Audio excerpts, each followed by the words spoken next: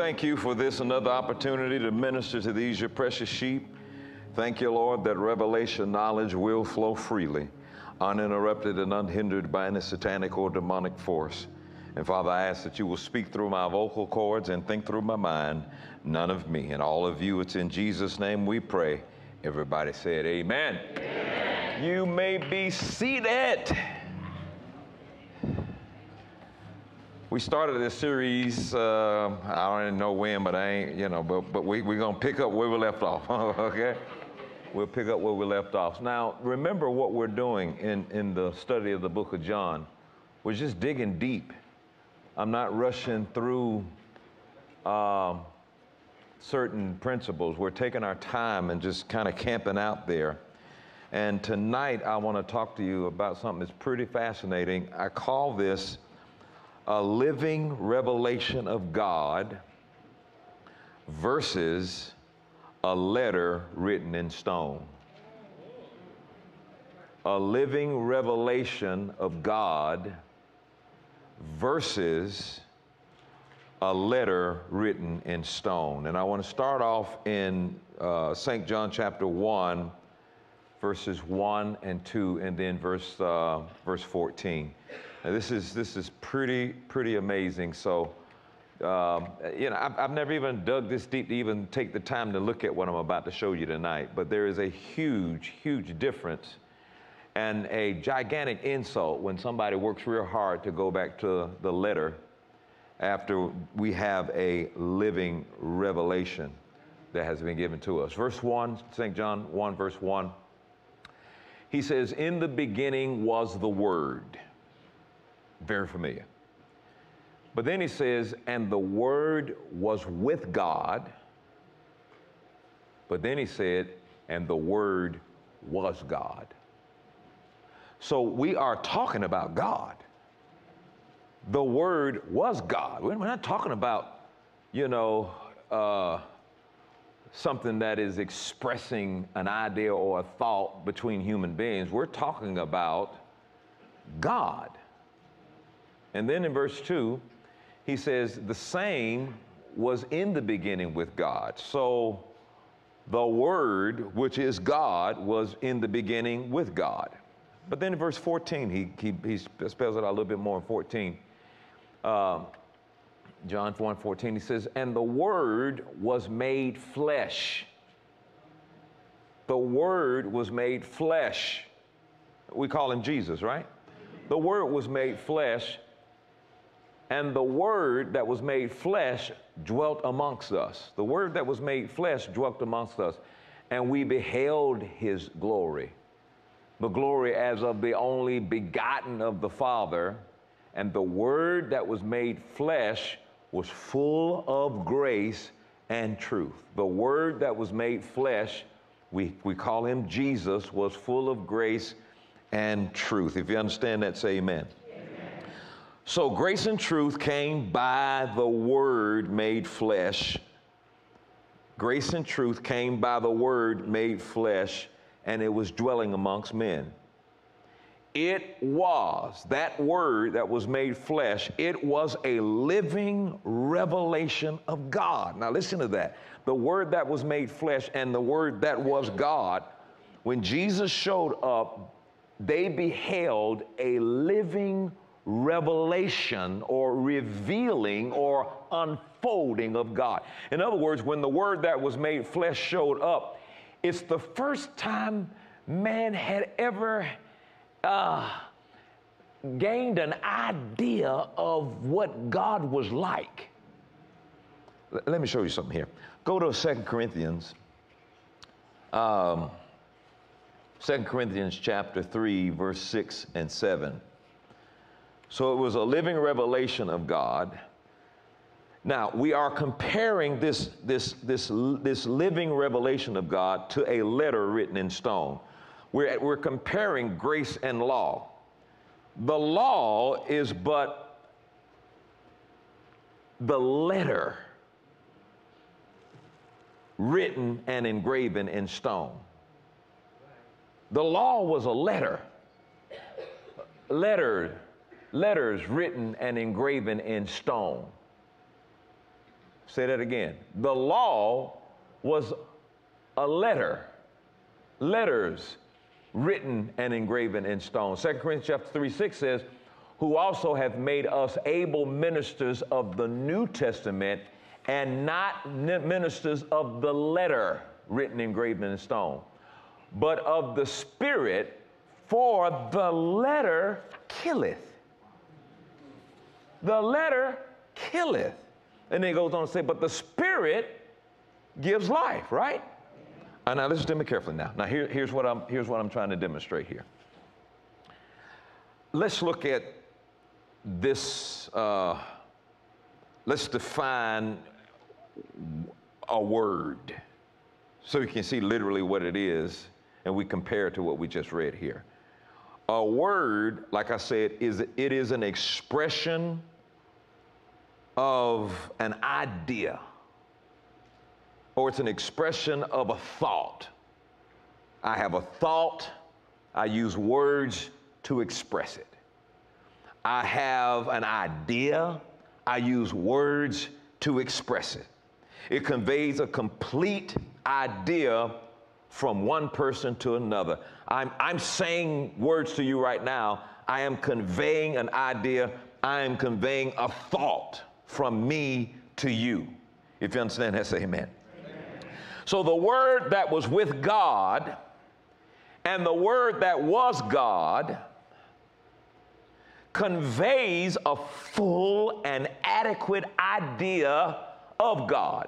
The word, just like words that I'm speaking or I write in a letter, those words convey an idea or a thought. The word that was made flesh the Word that was God has given to us the idea of God. Yeah. Oh my God. You see what I'm saying? It gives us the idea of God. It gives us and it conveys a full and adequate idea of God because the Word was made flesh, it dwelt amongst us this idea of God was manifested to man in human terms, understandable to a man. This word that was made flesh, given to a man so they could behold it and see it. The, the, the scripture says in First John that we heard it, we held it, we, we, be, we beheld it. Now, please put yourself in a situation before Jesus, what is God like? Are, are you see what I'm saying? Before Jesus, what, what is, how do you, how do you describe God? You ever had writings, but, but you're going to see the, the, the love of God.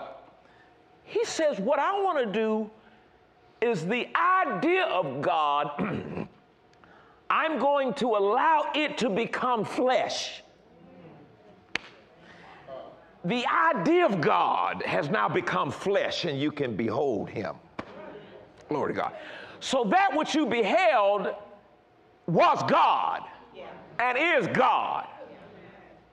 So if you want to talk, and we beheld his glory. So if you want to talk about God and you want to know what he's like, Jesus said, The Father and I are one. What else did he say? He said, When you see him, See, we need to quit this, man. This thing is already. All right, so if you understand all that, say amen. If you understand all that, let me let me set this up. All right, First John 1 and 1 I was just reading the King James. He says, That which we have heard, which we have seen with our eyes, ain't nobody saw God. But now we heard him, we saw him with our eyes, which we have looked upon, our hands have handled the word of life. They said, Our hands have handled the word of life. So truly, the word dwelt amongst us that man may know God and knowing him have life. So he dwelt amongst us so we can know him, but not only so we can know him, so we can have something that only comes from him life. I know him. I have beheld him. And I have from him life. Now, let's compare that to the law. Because everything I just said is not so with the law. The law can convey no adequate idea of God. Think about it for a moment. The law conveys no idea, no adequate idea of God. Think for a moment. Like I'm getting ready to say something. I'm going to show you that you ought not ever, even ever, even ever be tempted to go back to the law. It offers shame and guilt and condemnation and death the law cannot give you life. Okay, being the letter, it is but elemental and it is incomplete. It does not reveal God to man. Uh, you can study all that may pertain to the law without ever coming to an understanding of God. Read it. Read it. All you're going to hear all you're going to read is the condemnation that comes, the judgment that comes, the shame that comes. It is not going to give you anything that reveals God. If it was left up to the law, the law could have never revealed God to man. My gosh. So in it is found no revelation of his love. The law has no revelation of his love. None. It was engraven. Now, here's a, here's a clue. It was engraven and written upon stones, which symbolically is its inability to give life. Stones is like, you can't, it's dead, it's stone. You know, it's, it, it's, it's Medusa stones. You remember that in school? The lady with the snakes in her hair, you hold it up, you turn it into stone. There's no life there. It can't touch the hearts of men, nor can it be touched by the feelings of the infirmities of a man. The law can't touch your heart. The Bible says in Hebrews 4:15 that that Jesus is touched with the feelings of our infirmities. He says, For we have not a high priest which cannot be touched with the feeling of our infirmities, but was in all point tempted like as we are, yet without sin. Jesus he, he feels us, we feel his love, but not the law. The letter does not dwell among men. The letter can't do that. The letter's not wrapped up in flesh, it stands off. Yet men try uh, to find God and they try to find life in the law. Reject Jesus, reject grace, go to the law, and they're trying to find life in the law. You can't. That's why if you, miss, miss, if, you, if you dismiss Jesus and try to live your life by the law, there is no life in the law. Now, please don't misunderstand me. The law's not bad, it's just perfect. The better part is the word wrapped up in flesh coming down and showing you who he is. Yet men try. Romans chapter 1 and 18, I want to read this what you find in the law. Romans 1:18. He says, "For the wrath of God, that's what's revealed in the law, is revealed from heaven against all ungodliness and all unrighteousness of men who hold the truth in unrighteousness." So you find the demand for righteousness in the law. You find judgment because they fail to measure up to the righteousness and all that's all been demanded. So in 2 Corinthians chapter 3 and 6, where it says, the letter killeth, that's what he's talking about. The letter killeth, but the spirit brings life. Now, just for a moment, I want to just take just a little uh, rabbit trail and talk about how we should not desire to be under the law as many people do. Galatians chapter 4, 19. I want to read it in the King James and the NLT. Galatians 4 9, King James NLT. So it's not, it's not strange that Paul's writing to the Galatians who desired to be under the law. Here's what he said to the Galatians who wanted to be under the law. There are people today that want to be under the law. And as long as you're under the law, you can't see grace. You can't see life. Now, look what he says here. But now, after that you have known God, or rather are known of God, how turn you again to the weak and beggarly elements whereunto you desire again to be in bondage? Now look at this in the NLT. There, he's saying a guy that desires to go back to living your life under religious law, you, you just went back to bondage. I like what he says in the NLT. He says, So now that you know God, or should I say, now that God knows you, why do you want to go back again and become slaves once more to the weak and useless spiritual principles of this world? Why? I mean, every every every every pastor we have in our church is just preaching out of his guts the grace of God. And we are very blessed to have uh, a, a, a church that farms grace. So you can harvest it, you know what I mean? But it's not so. so. And, and, and no matter how we preach it, man, we just preach it, we preach it, we preach it, we preach it. And there's somebody out there saying, well, I don't see it. That's because you're trying to get life from something that's dead to you. And, and, and that's what the law is. The word was full of grace and truth. Now, there's a very weird teaching that I'm sure you're familiar with where it associates grace with license. And you hear things like, grace is not a license to sin. I mean, that's, that's, that's a lot of, lot of things wrong with that, but a whole lot of people seem to be afraid of grace because they think it's going to teach and lead people into careless living because it, it's too good to be true news. I mean, you know, people already say about me, uh, Dollar be, be telling them people it's all right to sin.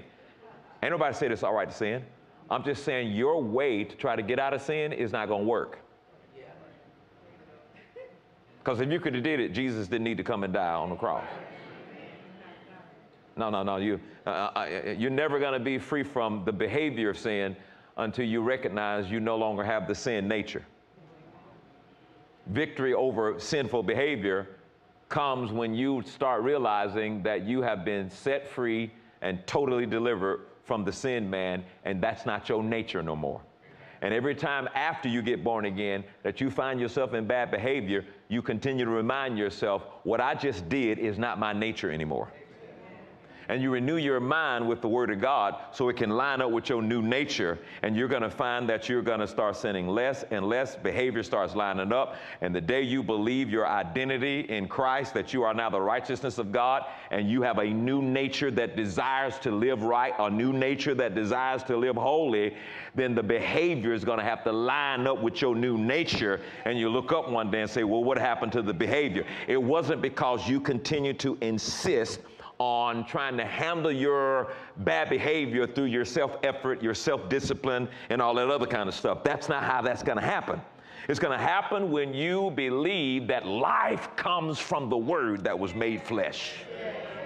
And the idea of God is that I love you so much that nobody else could deliver grace and truth. So I had to wrap myself up in flesh and bring to you this awesome grace and mercy and truth and get it to you and say, Here, let it serve you, because that which, which, which you were in bondage to cannot give you what you're looking for.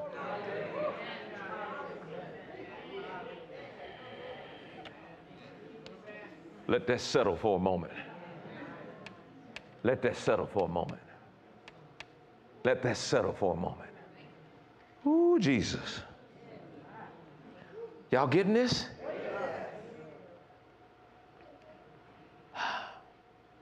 Other people would emphasize the fact that when grace is taught, I don't know if you've heard this. So people are afraid, you know, that, that grace teaching, you know, it's too, it's too too much liberty. You, you need to preach sin. I don't know what, I don't, I don't know, I don't even understand. You need to preach sin. That's sin. Well, why didn't you, why couldn't Jesus heal everybody in the village? Sin, sin. No, it wasn't. It's because their performance was, they thought that they could do it through their own self-performance and stuff like that. It's, and, and, and, and I have to believe the scriptures. The scripture says those who are in the law can't see grace.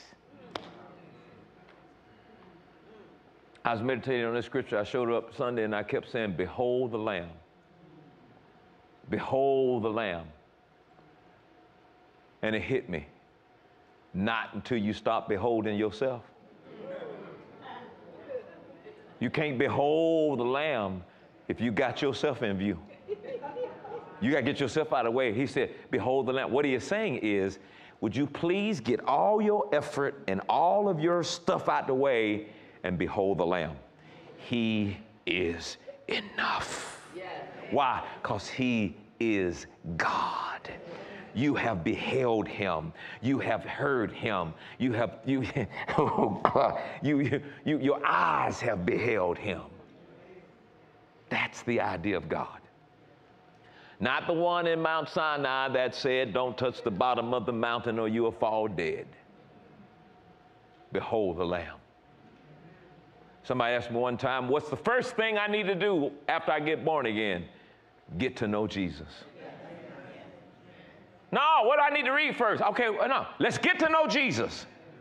How? I want you to spend time with him. I want you to start off reading, reading this, this book we're teaching on tonight, book of John. And I want you to get to know. I want you to see John, the revelator. John, the one who said he was, he was highly loved of God. I want you to get, I want you to get to know him. I want you to see him. I want you to behold him. I want you to handle him. I want you to see his glory manifested in your life. Get to know him. So then when you run across a doctrine that tells you you're going to go to hell because you missed it somewhere, then you'll know that ain't God. How many of you knew before you heard this gospel of grace, certain things happened in your life and you, you, you said to yourself, that can't be God? Yes that can't be God. I, I just, I just, you just know. And then when you heard grace and, and, you, and, you, and you were able to see it, you're like, that's the God I always knew he was. When you heard about he was rich in mercy, that's the God you always knew he was. I mean, under, under, the, under that religion we were under, it was quick to send us to hell on a daily basis. You're going to hell for that, you're going to hell for that, you're going to hell for that. Do you agree? Well, you're going to hell for not agreeing with me. And I'm like, where, where is this God? And every time I looked at Jesus and studied Jesus and saw what Jesus was doing, I saw the Father who was rich in mercy. A Jesus that when they took a woman right out of a bed of adultery and they threw her in front of all these religious people, and they were ready to keep the rule and stone her. And they mentioned the rule of Jesus. You know, Jesus, the law of Moses said that if you catch this woman in adultery, she should be stoned. That's what he said. Hallelujah. But the word wrapped up in flesh said, because he says, I'm here to fulfill every jot and tittle of the law. So I'm not going to disagree with you because you're going to catch me in something. I'm, I'm not going to disagree with What I'm going to ask you is this I want you to look a little deeper than your rule. You who have no sin yourself cast the first stone. And all the old folks left real quick. And the young ones hung around a little bit, and they eventually left. Are you listening to what I'm saying here? We beheld him. Getting this gospel of grace out has been one of the greatest honors of my life, but also one of the greatest frustrations of my life. I just figure this is easy. Just show the scriptures. I mean, if you want the scriptures, I'll, I'll show you the scriptures. You know, I was talking to Minister Kansas this morning. I knew this was going to come up. I tried not to let it up, but, and uh, we were talking about types and shadows and pictures of the Old Testament. And if you go to the Old Testament, every type and shadow and picture leads to the shadow caster, Jesus. Every last one of them. And uh, I went back to Genesis 14 because Genesis 14 is the thing that people use to say that it's okay for you to still be under the bondage of tithing, okay, because Abraham tithed before the law. I know that. I taught half of them that. yeah. But then if you look at Genesis 14 very carefully, you see a type Jesus. Melchizedek. Jesus is our Melchizedek. You see him bringing the bread and the wine. And the Bible says in the New Testament, this is my body. Bread, which was broken for you. This is my blood. Wine still leads to Jesus. And then the fact that Melchizedek was there in the first place was unmerited. It was grace. Where you come from? He just popped up in the picture, praise God. And, and then, then Melchizedek sits down and explains to him all of his goodness. It was God that did that. You won because of God who did this. And Abram was like, ooh, was so grateful and thankful for what God had done. He gave 10% of everything that he had won in that battle and did not forbid his allies to take what they had won. Somebody says, What you saying? Can't you see? He wasn't required to do that. He did that out of his heart. Mm, y'all got to hear what I'm saying now. He did it out of his heart. Now, what is it that we do under the New Testament? What do we call it? Gracious giving? What do we call, what do we call it? Generous. Generous giving? They said that 10% that he gave of everything that he had won, that was, that was real generous. Guess what that 10% points to? Generous giving in the New Testament because it's out of the heart that you give in the New Testament. And you see Abram giving out of the heart, not out of obligation. Tithing wasn't required by Abraham, it was out of the heart he gave out of appreciation. So you cannot say that I'm required to do something that based on what Abram did when Abram did what he did out of his heart, not out of obligation or requirement.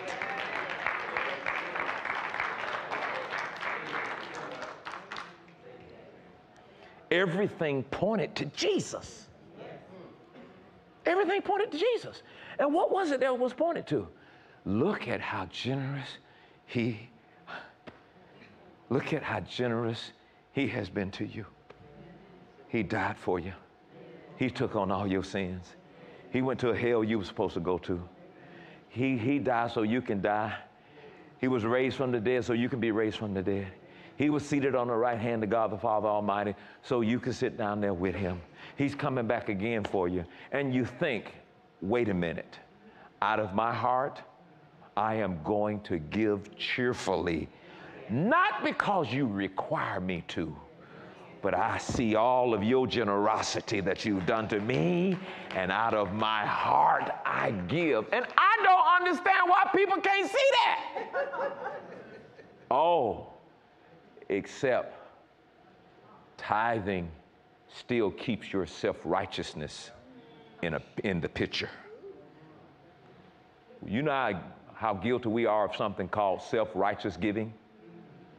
That's a type of giving that makes us feel that what we did is going to be enough to get a blessing.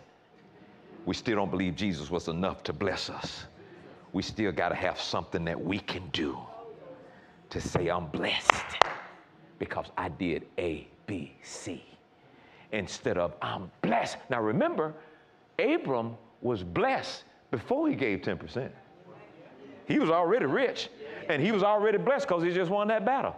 And he gave it 10% out of gratitude for what he already had, not like they teach today give the 10% and then you'll get blessed. And it still wasn't no money being exchanged. It was still, you read it, stock, animals. But Jesus says, You tithe. He was talking about spices. I'm not letting go of it. I, I kind of backed off of it a little bit. Forget that. The whole point of it is this everything points to life. Everything points to Jesus. Jesus is the only one that can, he, he's the only, the only one that can give you life. I don't care what you do based on what somebody else did. The whole picture of Genesis 14 was you're going to get a new high priest. And he's going to be better than this high priest Melchizedek. And go to Hebrews in 7, it compares the ministry of Melchizedek to the high priest of Jesus Christ. And he says they, they brought tithe to Melchizedek, but you're going to give out of your heart to Jesus because of the generous way that he has treated you. Everything leads to Jesus, the shadow caster. Yes. But many Christians are satisfied with serving the shadows. And Hebrew 10 talks about what, verse 1? Pull it up, talks about, uh, uh, you know, uh, these are the shadow of things. Yes. It mentions shadow, you know, over and over again, for the law having a shadow of good things to come and not the very image of the thing. We got the very image. Yes. It can never, with those sacrifices which they offer year by year, continually make the comer thereunto perfect. We have the shadow caster. Well, what day y'all have church on? Saturday or Sunday or Friday? It ain't about a day no more because Jesus is our Sabbath. Jesus is our Sabbath. But we're so self righteous conscience. We just got to keep ourselves in the, in the mix because we don't think Jesus is enough. And that's the truth. You don't think he's enough. So you keep coming up with mixtures. You, you, you, you say, yeah, I trust, you say Jesus is enough, and then you mix it with with a principle. We've been peddling principles because a principle says if you do this, then that'll happen. Jesus is my principle. He's, he's one who I trust. And if you trust him and believe in him and believe in that new creation on the inside of you, he does a work in you and with you you can't do. Because you're not dealing with the letters on stone. You're dealing with the Word made flesh. And He gives you glory. And you're about to see an acceleration of the glory that He gives. And if you're not satisfied with the glory that you're seeing, you still probably got some of you still in the way.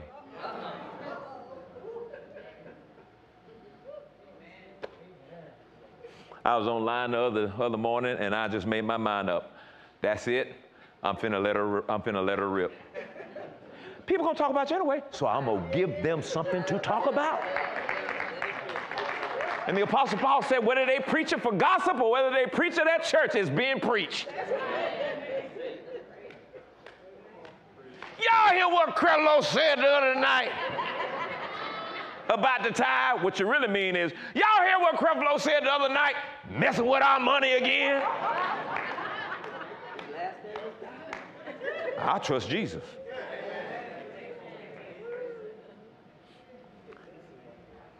Some of y'all sitting here. What, what do we do with this? What do we do with this? Prosper. Jesus is your prosperity. Jesus is your healing. Jesus is your righteousness. Jesus is your holiness. Jesus is your deliverer. Jesus is your redeemer. Jesus is your wisdom. Jesus is your everything. Don't you see?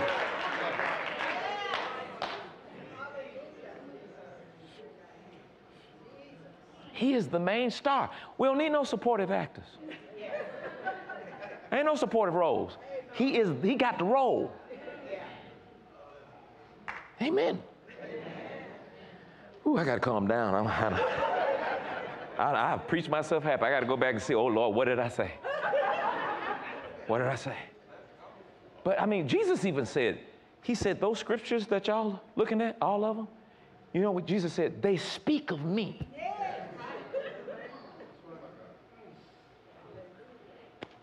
And it's amazing to me how we took this gigantic, wonderful, beautiful signpost that pointed to Jesus and only picked out the word tithe.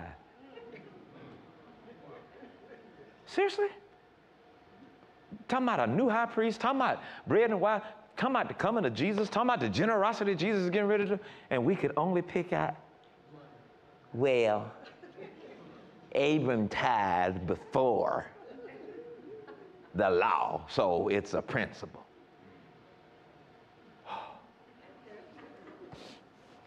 And what you're saying is, so you don't have to do just what he did. That's why you can't hardly read now, because you, you're not, you don't know how to read. You don't know how to read. I mean, eh, let, let me just say this one thing and I'm gonna be through with it.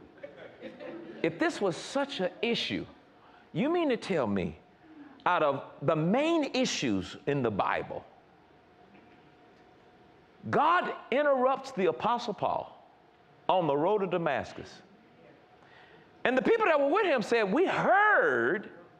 I, I, I, I did something today. I, Ken, after you left the morning, I went and got my Bible. And I said, Oh, they saw the light, but, but Paul was the only one who heard the voice. And I kept reading scripture and it said, and everybody else heard the voice. They didn't see nobody, but they heard the voice. I said, God, dog, see that? Religion had me preaching one of them little sermons. Oh, hallelujah. They saw the light, but only Paul heard the voice. And the scripture said, you know, everybody heard the voice right there.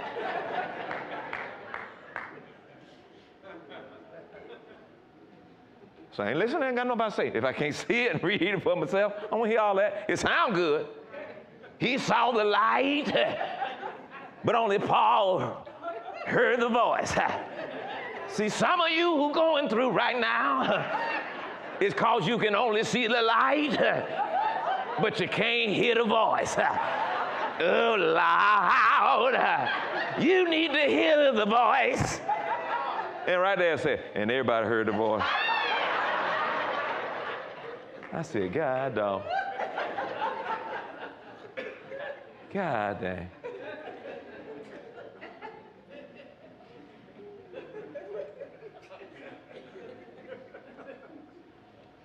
I'm like, this is this is ridiculous. And then you then you go to Hebrews 7 and you read in Hebrews 8, and he tells you, here is the whole entire purpose for what I just said. So you'll see the high priest of this new covenant. But again, we picked that. See, they gave some money. So I need to get y'all, I need to get y'all a principle so y'all can do that.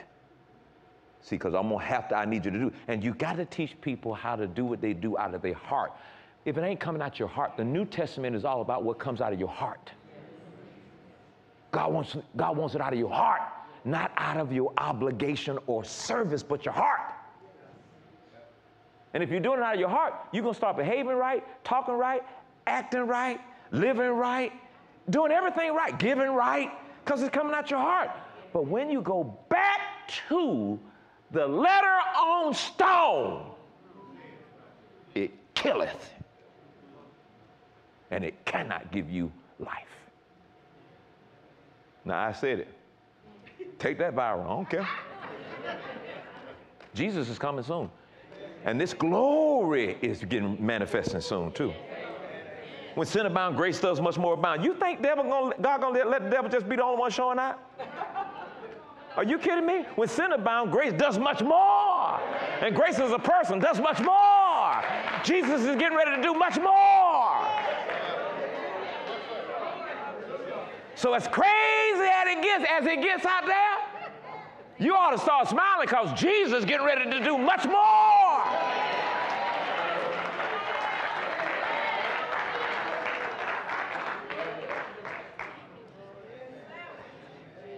Y'all, y'all, y'all, you hear what I'm saying? I don't look like I'm gonna finish part three tonight. It's just much more. Much more. When sin abounds, much more does grace abound. Amen. Ooh, Jesus. Ooh, Jesus. When grace is taught, truth also must be demanded in the lives of those who are under grace, is what people say. You listen to that grace stuff, you got to get the truth too now. They treat it like they're two separate things. Grace is the truth. Grace is what produces truth. You, in fact, you can't have no truth without grace. Did you hear what I said? There's no truth without grace. Because the truth came to give grace. Ain't no truth without grace. Well, I preach the truth. You preach grace? No, I don't preach that. You ain't preaching the truth. There can't be no truth without grace.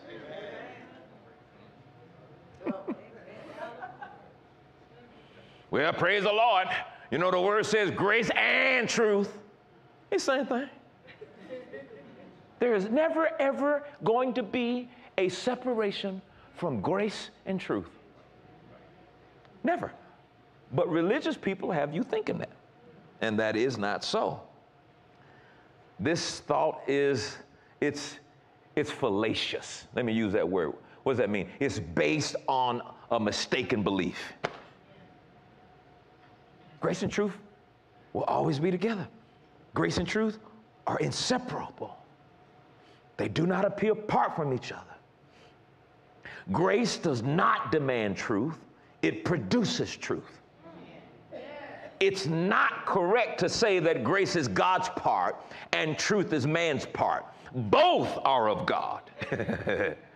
when God in grace deals with man, he produces truth in man.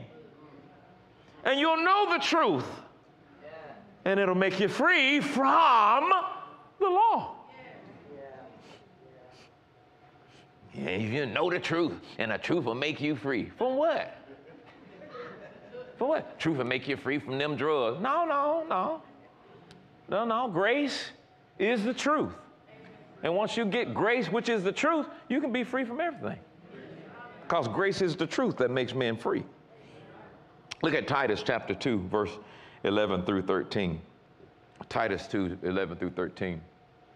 For the grace of God that bringeth what? Salvation, the truth of salvation, has appeared to all men it's appeared to all men.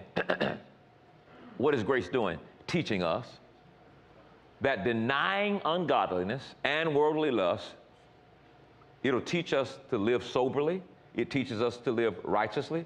It teaches us to live godly. Those are all the things we were trying to get on our own by keeping the law. He says, Grace will teach you how to live godly. Grace will teach you how to live righteous. But if you don't think Jesus is enough, you're still going to be trying to do this on your own. Verse 13, and grace will also teach you to look for that blessed hope and the glorious appearing of the great God and our Savior, Jesus Christ. Grace teaches that. Grace teaches that. Grace may well be defined as God's abounding provision and it abounds, when something abounds, it increases. God's abounding provision in love for those who depend on Him. Grace is God's abounding provision. Now, provision in two areas provision uh, to justify the one who believes in Jesus. Number one, there's provisions to justify the one who believes in Jesus, just as if you've never sinned, justification.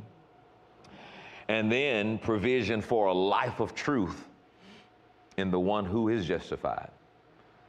And so this comes by grace to be justified and then to have a life of truth for the ones who, who are justified. So let no one think of grace apart from truth. You can't think of grace apart from truth.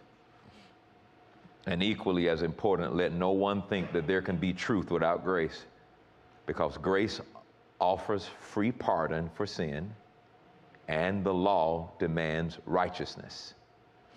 Okay? And then there are people who, again, will say that grace is going to lead people to careless living. It won't. And that's what people are afraid. You're, you're already living careless. You're living careless now. careless living. You, you, that's what you're doing now, trying to, trying to keep the law. Mm-hmm. Right? Ah.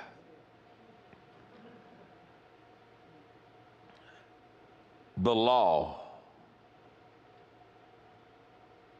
doesn't produce truth. It reveals what? Sin, which is error and failure. Look at Romans 6:14. I think I have time to stick a little in this. Y'all give me about five more minutes.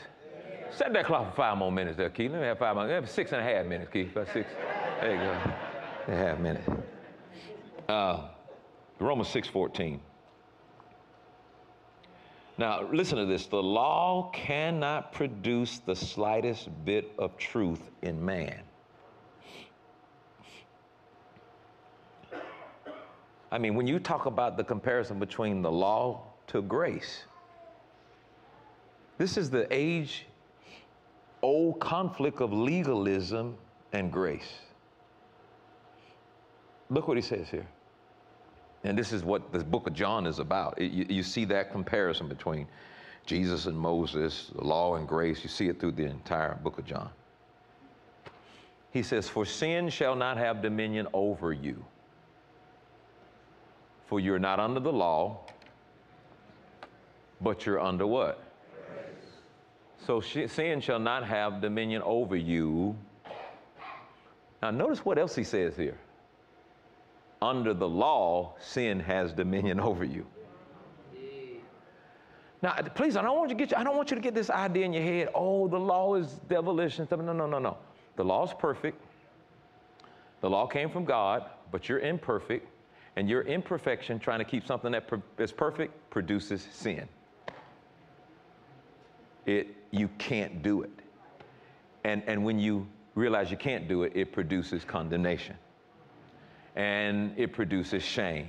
And it produces everything. And you, you, don't, you don't have life in that. I, I, I, I want to, in this cycle, continue to say to people, like Paul said in Romans, the law is good. Says the law is perfect. The problem is men are not. So this the, the beauty of, about Jesus. He says, "I gave you something. It was it was perfect. I did it on purpose because when I came down from the mountain and told y'all what needed to happen, y'all just stood up arrogantly and said, "We can do everything you say." You still thinking you can do this by yourself. So okay, here's what I'm gonna do. I'm gonna give you something perfect. Do that by yourself. Now talk to me in 2,000 years. Do that by yourself. Okay, but I love you, and so I am going to wrap myself up in flesh. The idea of who I am will be made known to man. I'm going to give you a new covenant through my blood. We're going to find a way to get rid of your old nature, and I'm going to give you my nature, and I'm going to seal what I give you in the Holy Ghost. And what you have in new nature cannot sin. It is perfect and it is heaven ready. It is what is going to come out of your body when you die. You are one third perfect. Now start renewing your mind. It starts lining up with the perfection of your new creation. I can't hardly talk about this stuff, but the perfection of your new creation. And then when you when the more you renew your mind and yielding to that new creation, your body just gonna do what it's told to do. Your body right now operates on, on sin impulses from a software that has not yet been completely renewed. You see? Uh, yeah, man. So I'm not under, now that I'm born again, and nobody could get born again until Jesus made that available. Nobody could get born again. And that's why he can trust you to give out your heart. Because your this is good. I, I, I, let, me, let me take a breath. I just bumped into this right now. This is good. Somebody say it. I'm going to say it. Oh, this is good. You have a new creation on the inside of you. It is flawless, it is perfect. Okay? So you can now trust your new nature in giving. You don't need nobody to give you no rules because you have you got a new nature, a perfect nature, and what you do out of that nature is always going to be right. And, and that nature is also going to help you to love right. You don't need five rules of how to love right. You're going to love right. You're going to love your husband right. You're going to love your wife right. Because the more you renew your mind to yield to that perfect part of you, that's God. You understand? Do you understand? You're in there with God. In Him we move, in Him we breathe. You're in there. Your spirit, the new creation, is in God. You have the faith of Jesus Christ, is in Him. So out of Him, you can trust everything because it's coming. It's coming from a perfect place. I don't expect nobody to understand me tonight except the crew. Everybody else online, they probably have gone by now. Like what? What are you talking? What, what, what are you talking about? They smoking weed in that church? Well, we smoking something that ain't weed. We smoking the glory, praise the Lord. We smoking the presence, praise the Lord.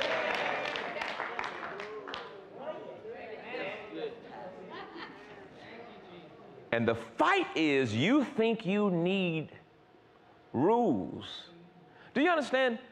The Ten Commandment is God's character. It was so perfect, it was so flawless, but surrounded by a bunch of rules to see if they can produce morality in your life, it failed miserably.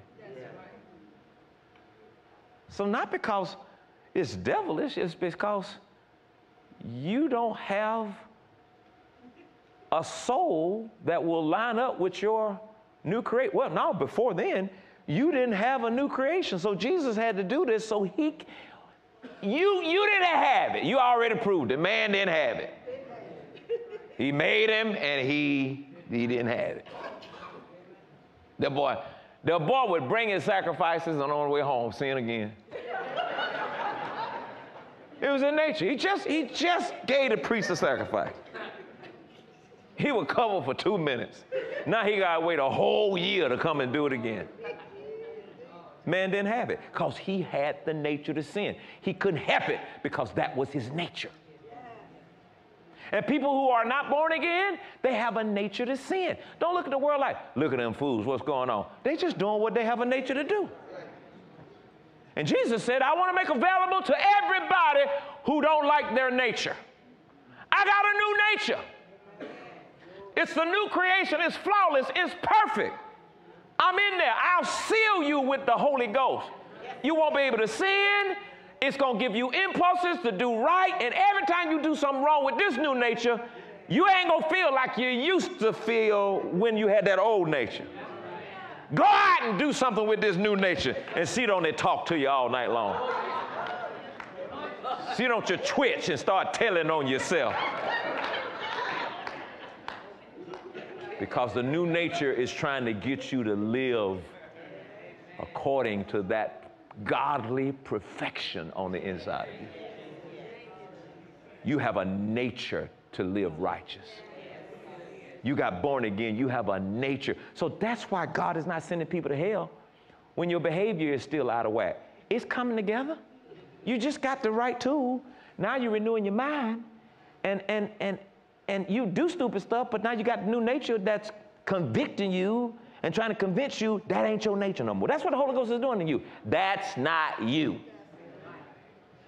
And you're going to say, Yes, it is. It used to be me. Go out and do it again. That's not you.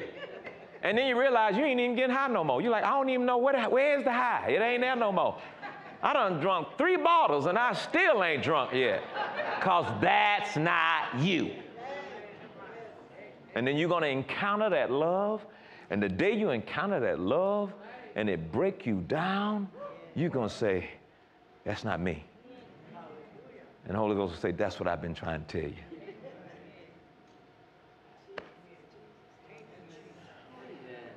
I get it. It took me a long time to get it, y'all. I've been doing this 42 years. It took a minute, but I got it. And I'm trying to accelerate the teaching so you can get it a lot sooner and get it to your family and get it to your friends and get it to people who have fallen down and they don't want to get up no more and tell them, come on, get on up. You can be all right because God's forgiven you. That's not no nature. He's working on you. You're going to be all right. He promised that the work will be finished with you on the day that He returns. That's His promise, not yours.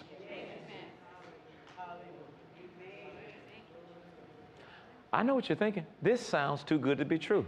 That's exactly what the gospel is. It is the too good to be true news. The almost too good to be true news. That's what this is. And that's what I made my mind up to, to teach radically. No more easing in, no more. Freaking radical. Radical until you think something wrong with me. When the whole time something is so absolutely right. I finally get it because I now can behold the Lamb. I see him, Word made flesh. You know what we saw? You know what, you know what they saw when they, when, they, when they first saw Jesus? Glory. They saw the manifestation of God. So, you know what He put on the inside of us? This new creation? You know why He put that on us?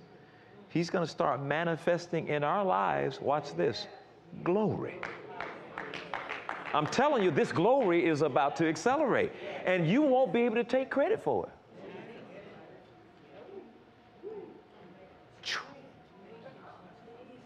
The glory is coming. Somebody says it's here. The glory's coming. I said, The glory's coming.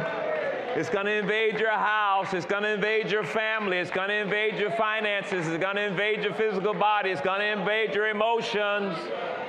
There's going to be manifestations of that new creation in every area of your life. And we will all become extremely radical together. Some of you, gonna, when you get this, you, it's going to be hard to stand before sickness and knowing you got all this in you. For you even ask, mm, in the name of Jesus. Yeah. You ain't got to be scared no more. You ain't got to pretend no more. You ain't got to like, well, I ain't worthy no more, stuff like that. You getting rid of the, you been, you to go with the flow. That anointing, people think it's to come from the pulpit. It's coming from the congregation It's coming from the congregation. I, I'm finna go out here to the West Coast and get real radical. Real radical. Real radical. So, y'all hear me hollering, come out there and help me now. The glory is intensifying with frequency. You hear me? Frequently. Frequently seeing the glory. All right. All right.